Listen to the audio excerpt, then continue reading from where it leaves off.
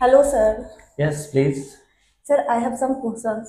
Okay, please continue.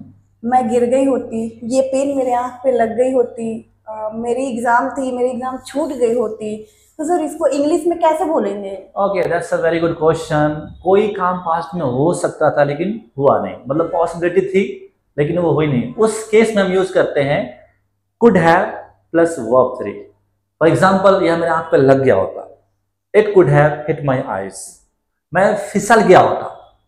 I could have slipped